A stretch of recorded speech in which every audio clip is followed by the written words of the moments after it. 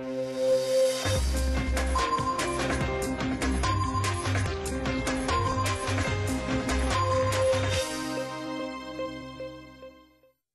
Ben ritrovati, questo è TG Vicenza, l'informazione di Rete Veneta che puntualmente torna in diretta ogni sera. È il momento di rivedere e rivivere i momenti più importanti della settimana con i nostri servizi, c'è la politica, la cronaca, l'attualità. Allora sentiamoli insieme. Buonasera, buonasera, a tutti i telespettatori dal centro operativo del comune di Vicenza che è stato allestito qui eh, ad AIM. Il sindaco ha appena finito il vertice. Che cosa emerge? Proprio notizie delle ultime ore. Beh, intanto stiamo facendo, abbiamo appena finito di fare un check su tutti i controlli sui territori per capire tutti gli interventi da fare per la messa in sicurezza di strade, persone, quindi tutta la zona interessata di solito dagli allagamenti.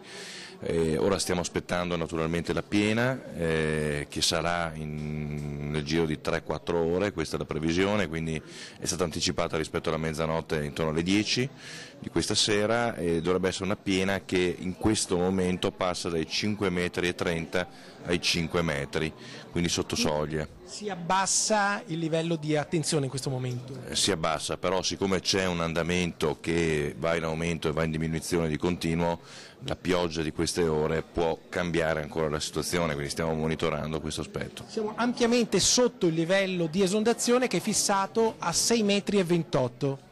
Esatto, 6,28 metri è il limite da non superare assolutamente. Ho parlato, questa è la notizia perché il Presidente mi ha autorizzato a riferirlo, ho chiamato Luca Zaia per un confronto sul bacino di Caldogno e chiaramente c'è la disponibilità ad utilizzarlo secondo le indicazioni ma anche in deroga rispetto al protocollo quindi sotto i 5,40 m l'ultima parola però per essere chiari non spetta nemmeno al Presidente della Regione bensì al genio civile. È il genio civile che deve valutare questa situazione L'auspicio è che con questa occasione si possa anche fare il collaudo e quindi mh, utilizzarlo. Attenzione però che quando si utilizza il bacino poi per un certo periodo non si può più riutilizzare e nei prossimi giorni ci sono nuove situazioni di perturbazioni importanti e quindi bisogna farlo solo in determinate situazioni. Certo, quindi bisogna anche essere parsimoniosi e, ragionare bene prima di utilizzarlo in questa occasione. Eh, altre novità? Il Palazzo Trissino aperto tutta la notte? Sì, abbiamo attivato tutta la notte il servizio del numero verde che potete trovare sui social, l'invito è sempre a tenersi informati attraverso i canali istituzionali, di non ascoltare fake news che stanno girando in maniera anche vergognosa in queste ore, veramente c'è una maleducazione, una stupidaggine rispetto a situazioni di emergenza ben serie, perché evidentemente qualcuno sta sottovalutando questa cosa. Io veramente trovo la cosa imbarazzante, però eh, ci tengo a dirlo perché è giusto che la gente sappia poi cosa accade anche sui social e quanto inattendibili possano essere. E quindi il Palazzo Trissino rimarrà aperto tutta la notte, H24 ci sarà anche lì un presidio. Ecco, in chiusura ha un messaggio, un suggerimento per eh, i cittadini, per i vicentini che in questo momento sono in allarme per la situazione, visto che si ricordano ancora bene l'alluvione eh, di Ognisanti? No, io vorrei dare naturalmente un messaggio di tranquillità e di serenità. È chiaro che non va sottovalutato nulla e quindi bisogna monitorare, essere informati attraverso gli organi di stampa, comunque i mass media, attraverso i social istituzionali, attraverso il sito del comune, attraverso la messaggistica che facciamo in maniera costante durante la giornata e, e comunque di seguire le istruzioni. Eh, se si fa questo, secondo me, la situazione dovrebbe essere sotto controllo.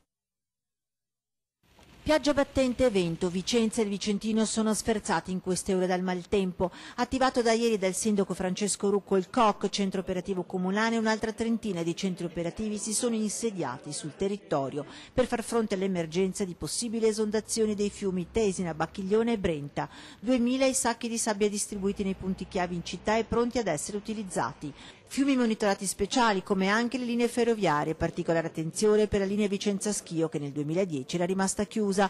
Se strade statali e regionali non hanno risentito al momento del maltempo che si sta abbattendo in zona, diversa è la situazione per la viabilità provinciale. Abbiamo la SP 350 momentaneamente interrotta al chilometro 31 più 500, la SP 81 in località Ganna che rimane chiusa, almeno per 48 ore e la eh, SP85 in località eh, Carotte. Chiusa in mattinata la viabilità in centro ad Altavilla Vicentina mentre le idrovere pompavano l'acqua caduta copiosa nel quartiere Alpini e che le caditoie non erano riuscite a far defluire. In una città semideserta ad agevolare l'attività della protezione civile, vigili del fuoco e tutte le forze messe in campo, l'ordinanza del prefetto. Il provvedimento che è stato adottato di chiusura delle scuole senz'altro ha avuto come effetto positivo anche quello di rendere il traffico meno intenso, quindi più agevole anche la possibilità per chi si muove in situazioni di emergenza. Anche il servizio di emergenza e urgenza è pronto ad entrare in campo. Abbiamo già attivato a livello provinciale tutte le risorse disponibili da parte delle aziende ospedaliere che confluiscono nella nostra provincia, quindi sia l'azienda 7 che l'azienda 8 sono state completamente allertate, abbiamo predisposto degli equipaggi reperibili e Oltre a questi abbiamo già attivato degli equipaggi supplementari, la nostra direzione medica ha già predisposto eh, sia le dimissioni di tutti i pazienti dimissibili in modo da poter liberare posti letto, in modo da avere la disponibilità eventualmente all'occorrenza pioggia, detriti, fango e un rumore sordo che mette ansia. Due contrade di Posina, Doppio e Lissa, sono isolate. Il torrente Posina, che nasce al confine tra Veneto e Trentino, è esondato, invadendo la strada che porta al passo della Borcola e rendendo inagibile circa 200 metri. Il maltempo in questo comune sta rendendo la vita difficile ai 500 abitanti. La pioggia forte, le nuvole bassissime e il torrente diventato impetuoso, a causa dei numerosi affluenti, in questa valle stretta e lunga 20 km preoccupano le istituzioni. La situazione adesso è sotto controllo, abbiamo ripristinato provvisoriamente la viabilità, stiamo portando in paese le persone anziane e speriamo che le precipitazioni delle prossime ore non ci creino altri problemi. Quante sono le persone coinvolte? E sono due contrade, sono circa 10 persone, una decina di persone scarse sono però state portate qui stiamo in portando qua, le stiamo portando qua. Rimarranno qui notte, questa notte, dopo se domani gli eventi, perché comunque è solo una precauzione. Cosa si aspetta per stasera e domani? Che finisca di piovere. Sul posto protezione civile, vigili del fuoco e Croce Rossa e i tecnici del comune che hanno lavorato tutta la notte per riportare la situazione alla normalità. Il sindaco ha deciso di evacuare una decina di persone, per lo più anziani, che sono stati accompagnati in paese un paio di chilometri più a valle e ospitati in albergo, anche se quattro di loro non si sono voluti allontanare da casa. Solo nel pomeriggio poi la strada è stata riaperta e alcuni altri residenti sono così potuti ritornare nelle proprie abitazioni.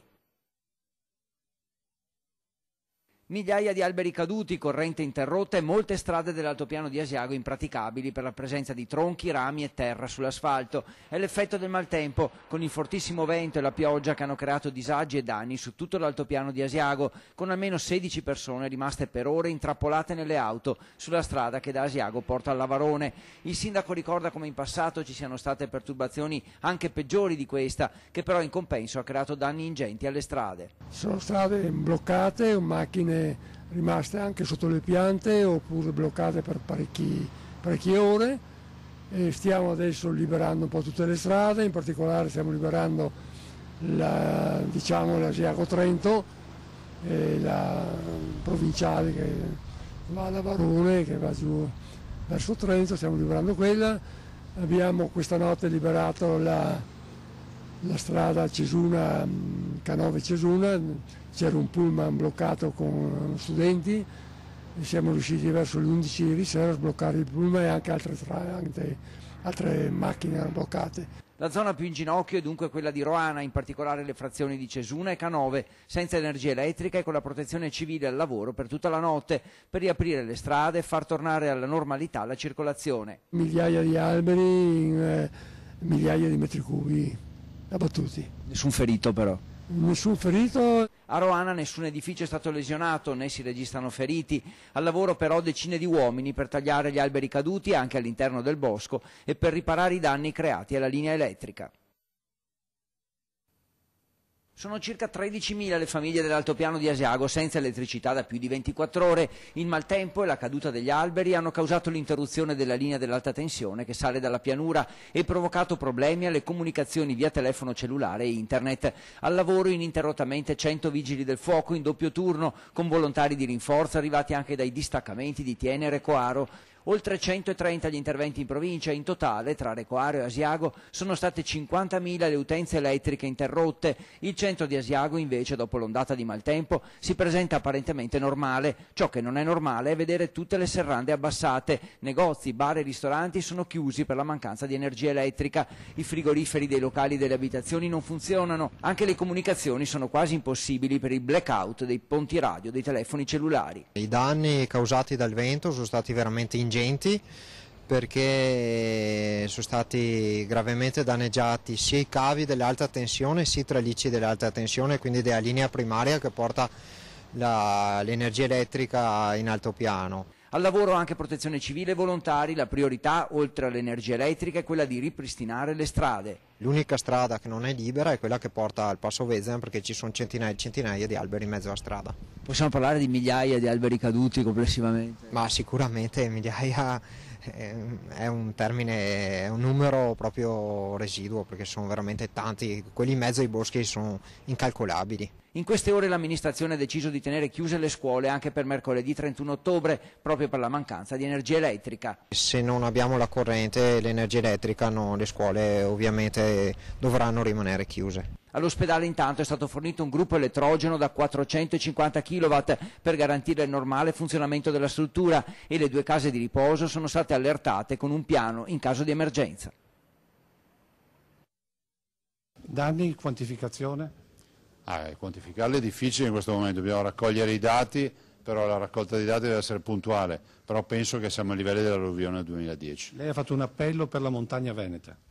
l'appello è che la montagna veneta sia assolutamente non dimenticata, eh, non è sotto i riflettori, è difficilmente raggiungibile, soprattutto se è isolata, però è fondamentale che si parli di, di questa devastazione che c'è stata, che pari a un terremoto, andate a visitare delle località e vedrete. Noi chiediamo al governo sostanzialmente aiuto, eh, presenteremo questo dossier e spero che partano subito quelle misure canoniche delle grandi eh, catastrofi, che sono quelle del procrastinare il pagamento delle tasse o, le, o gli adempimenti diciamo, fiscali, e che sono quelli di aiutare da subito i nostri cittadini. Un appello lo faccio alle banche affinché eh, blocchino il pagamento delle rate del mutuo per gli alluvionati, coloro che hanno avuto questa catastrofe e magari mettano in piedi dei pacchetti di aiuti che siano veramente pacchetti agevolati, che, che siano pro, sotto profilo finanziario dei, dei veri e propri aiuti. L'ultimo appello è per i veneti perché non lasciano la loro montagna, quindi la prossima estate esserci e cercare di incentivare l'imprenditoria di montagna gravemente colpita. Ah sì, e dico adesso si sgombreranno le strade, si faranno le pulizie, un appello a tutti, so che i veneti rispondono a questi appelli. Anche questa è una forma di volontariato, andare in montagna... Poi lei ha detto a quelli che invece sono stati colpiti non fate i veneti, prima fotografate. Assolutamente sì, i veneti sono eccezionali, puliscono velocemente, eh, ripuliscono le strade, i cantieri dalle masserizie, da, dalle frane e poi finisce che i dossier non si riescono ad alimentare con le foto perché mancano foto autentiche e forti. Quindi un invito a tutti a fare foto e farsele avere in regione o fatele avere i vostri sindaci e dopo ce le faranno avere. Cielo grigio, il maltempo torna a incupire l'orizzonte. A Vicenza il sole è durato il tempo di una breve tregua, poi già dalle prossime ore, spinte dal caldo vento di scirocco, tornano le piogge sulle Alpi che poi andranno a loro volta a scaricare acqua sui fiumi già grossi. Sull'altopiano i vigili del fuoco sono ancora al lavoro per rimuovere dalle strade rami e tronchi con migliaia di alberi caduti. La zona più in difficoltà è quella di Roana, con decine di uomini impegnati a riparare la linea elettrica dopo che le frazioni di Cesuna e Canove sono rimaste senza luce. Il centro funzionale decentrato della regione Veneto ha emesso un nuovo avviso sui possibili effetti della perturbazione in arrivo che potrebbe creare problemi ai fiumi principali che continuano a essere monitorati dalla protezione civile. Le condizioni meteorologiche però non sono così gravi da consigliare al sindaco di Vicenza di proclamare un nuovo stato di attenzione. Non ancora, ma si torna a guardare il bacchiglione e il retrone, in particolare chi vive e lavora nella zona di Ponte degli Angeli che porta ancora le cicatrici della grande alluvione di ogni santi del 2010 e che non vuole tornare a vedere gli spettri di un ritorno al passato. Beh, insomma, visto che io abito proprio in questa zona, siccome già nel 2010 c'erano stati parecchi danni in questa zona del Ponte degli Angeli San Pietro, contra San Pietro, ho portato la macchina in un posto sicuro, però in cantina e in garage non è che si possa eliminare tutto però ci è andata bene. Dai. Hanno detto che hanno fatto due bacini di raccolta a Caldogno, serviranno a qualcosa? Ci ha davvero rasserenato il fatto che in questi anni hanno creato il bacino, che hanno sistemato tante situazioni che erano comunque a rischio e per fortuna. Però il futuro si vedrà perché prevedono piogge, quindi Occhi puntati sul Bacchiglione, siamo a Ponte degli Angeli a Vicenza, luogo simbolo dell'alluvione di ogni santi del 2010. Quest'anno il primo novembre per la città è passato incolume, però torna il maltempo, torna a piovere e, e allora chiediamo all'assessore alla protezione civile, eh, Matteo Celebrone, c'è da preoccuparsi?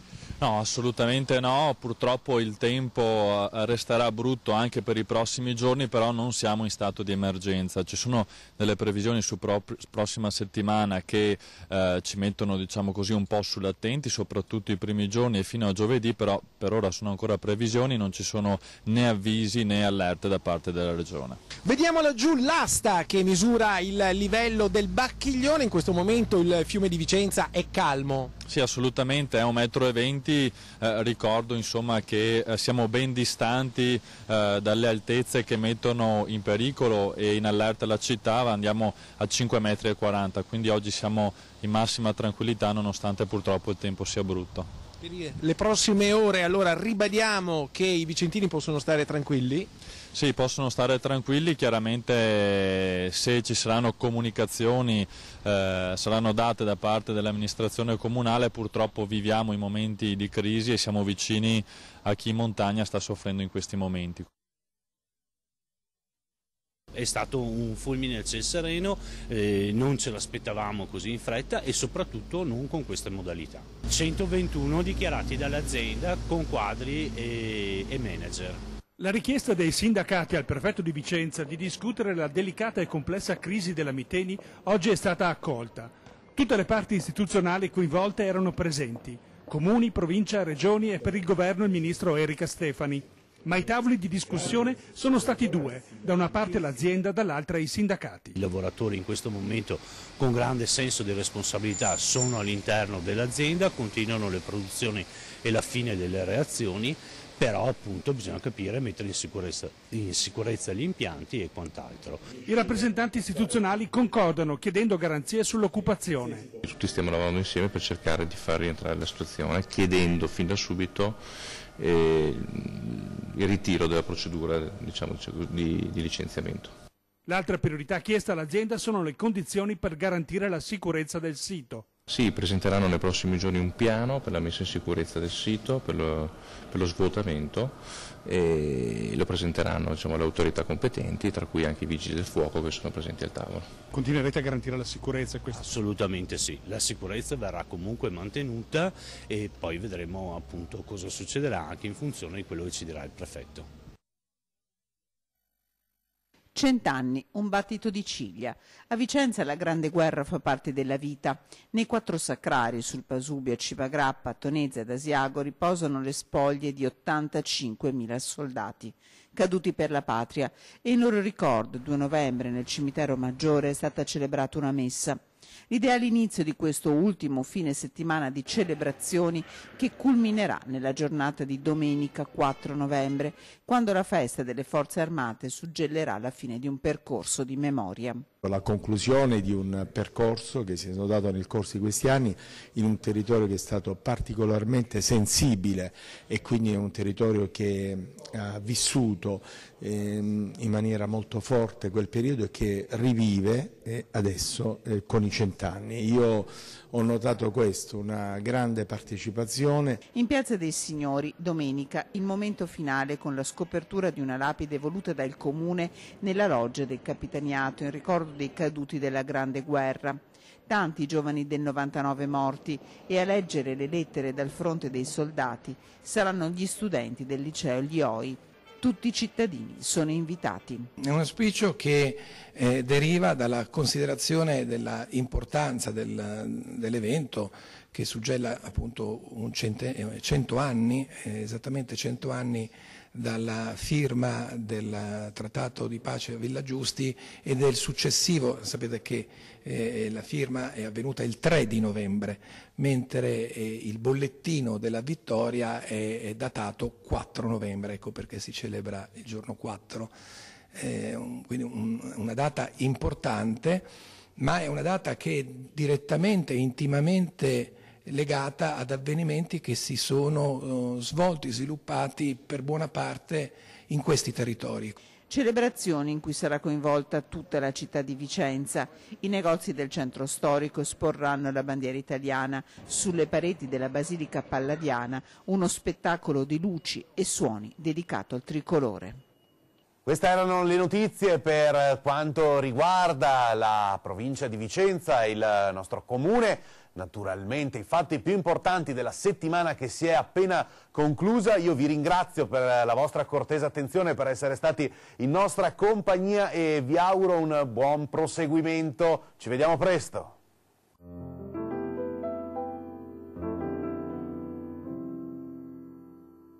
Frattin Auto a Cassola. Consulenza, assistenza, risparmio, sicurezza. www.frattinauto.it le previsioni per domani. Tempo instabile e perturbato, con cielo in prevalenza nuvoloso o molto nuvoloso, con precipitazioni via via diffuse nel corso della mattinata, con probabili locali rovesci o temporali. Verso sera possibile diradamento e successivo esaurimento delle precipitazioni sui settori meridionali della pianura, limite della neve intorno ai 2200-2300 metri.